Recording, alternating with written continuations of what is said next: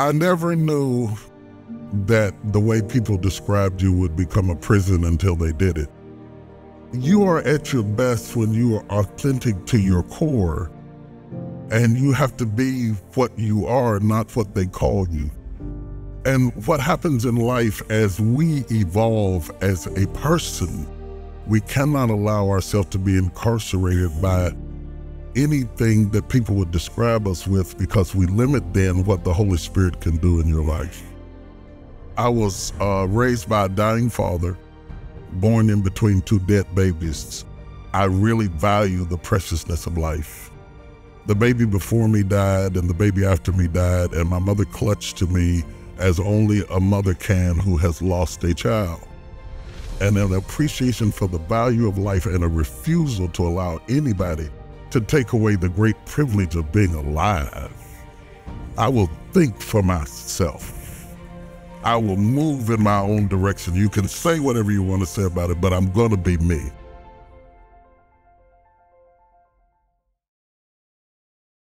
I believe that everything we ever become, we already were in seed form. I get, I you. And and acorns don't look like oak trees, but they're in there. They're there. The design is in the seed. Yeah, absolutely. Yeah. And so when I look back at my DNA and my propensity to lead and my proclivity to talk and my fascination with life, my mother used to say that the world is a university and everyone in it is a teacher. When you wake up in the morning, Mm. be sure you go to school.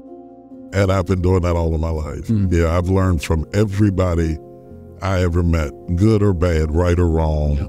I learned You're something. curious, aren't you? Oh, extremely, Curious. extremely. I don't know anybody who ever became major in any area of life, not just church, any area of life, who was not propelled by the force of some level of crushing. Something, something that could have killed you and should have killed you became the catalyst and the urgency through which you evolved into your the highest expression of who you were meant to be. And I am telling you that the greatest part of you is still somewhere down inside of you, and only pressure will get it out. Only pressure. Yeah, that you have not seen who you are in the pleasant moments when you smell the blossoms on the vine and feel the sun drench on your face. That you were raised not to be fruitful, but to be crushed. The grape is one of the few fruits that is raised to be crushed Look at that. you know, with Yeah. crushing in mind. Christ was born to die. Anything short of that would have been failure. That's why when Peter tried to stop the crucifixion, Yeah. he called him a devil because he understood that he was raised like the grape to be crushed. Mm. The Bible says that Jesus set his face to go to Jerusalem, but he did not rest his head until it was on the cross. Mm. And understanding that for this purpose came I into the world. Mhm. And not that you love suffering, he despised the shame, but for the joy Joy that was set- set before him. So he looked beyond the crushing and he saw the wine. You see, and, and, and understanding that wine is taking that grape into its most powerful expression and it is putting it in its most eternal form. And life crushes us from time to time because nothing else will get out of you the hidden treasure that we have locked up in earthen vessels, but to be crushed. You, you know, the, the funny thing about it, I think periodically, wherever there is purpose and wherever there is resistance to that purpose, pressure releases us from that resistance. And the more that we yield to the process. But the problem today is that we don't preach process, we preach promises. Yeah. So we have raised a generation of people who see God in promises, Mm. not process. Mm. So you go to church on Sunday and you hear about the promises of God, you go home to the process. And when you encounter the process, you say, Well, God is not in this. Right. And I would argue that God is more in the process than he is in the promise. When you pass through the waters, I'll I'll be be with you. When you go through the fire, I'll be there. His promise is to be with you in the process. Mm. And, and, and there are things that you cannot learn about him until you are in the process. There is a revelation of his glory that only comes in the frustration and the disruption of your life. He said, I'm a present help in trouble. If you avoid the trouble, you'll avoid me. I am present in trouble. I am revealed in trouble. Mm. I, I show myself strong. When men forsake me, then the Lord will take me up. So it was good for me that I have been afflicted. Had I not been afflicted, I would have never known the glory of God. Exactly. So all through the Bible, the Bible keeps the very symbol of our faith is a crushing Cross. place, a cross, an emblem of suffering and shame. Mm. It's not a crown, it's not a throne, it's a cross. The cross. Who makes an invitation from a cross but Jesus? Yes. You know, you make an invitation, you say, come go to Hawaii, you know, you know, let's go to Switzerland. Jesus says, come on, let's go to the cross. That's a hard, that's a hard invitation. Take up your cross and follow me. Come on, let's die. If the only way you can follow that kind of request is to know that what is on the other side is greater than anything that was before it.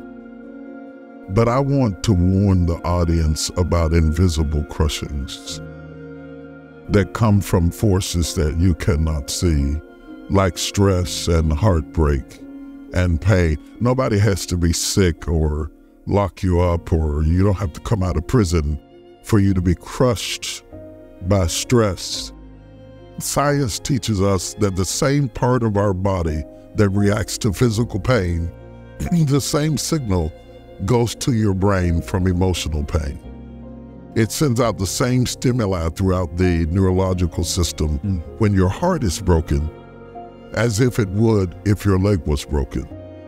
So you don't necessarily have to incur physical injury Mm. to be crushed by emotional stress. And we're living in a time of, of unseen forces bearing down on our soul on a daily basis. Everything is going so fast. And in that fast pace that we live in, there is a certain amount of invisible pressure. And the strange thing about it is, you feel the pain, you sense the pressure, and you can't see the source. Mm. And God says you can you can either see it as the wine press or you can see it as the potter's wheel. But the more it spins, the more he touches it and the more it changes in the spinning. And if you are not prepared for disruption, then you're not prepared for resurrection. And, and I'll be honest, that somebody said that's not easy to do. It's not something that you do from the place of your emotions. It's something that you do from the place of your teaching. I went through a period in my life that I was just being crushed. My heart was broken. I was worried. It was one of the most distraught moments in my life. And I was literally crying when I told God this. I said, Lord, I hate this. I absolutely hate this. But I love you. And I know you would not allow me to go through this if it were not for my good. And though tears are running down my face and I cannot see my way out, if you suffered me to be bruised, it is only to make me better. And so I trust you when I mm. can't trace you. Yeah. Because he that hath began a good work in me, and if whatever he ordered for me to face, when it's all over, it has got to end for me. The relationship that I am the most secure of is him. And the reason I am so secure is there's nothing about me that he has not considered. All things are naked before him with whom we have to do. I could disappoint my wife or disappoint my children or disappoint my mother. They could find out something about me and change their mind about me. God could never find out anything about me. You not cannot be surprised. Yeah, he cannot be surprised. there, there's nothing Yep. about me that he doesn't already know. He's already made up his mind about me. It isn't always possible to explain No, sir. suffering. It isn't always possible to to make people rejoice in that type of agony. I teach people just survive it. Just survive it. Don't try to understand it. Right. Just survive it. Yeah. Because if if you survive it, on the other side of it, you're going to see something that makes it, in retrospect, make more sense than it does today. Looking back at the rearview mirror, It's not that it was ever a wonderful thing to go through, but had my father not died when he did, I wouldn't be who I am. His death was was the birth of my ministry. You see, and and this the seeds always hint to us that life comes out of death. As the outer encasement corrodes in the ground, the mm-hmm. inner life bursts forth. And everything that dies in you is only so that something else can be born in you.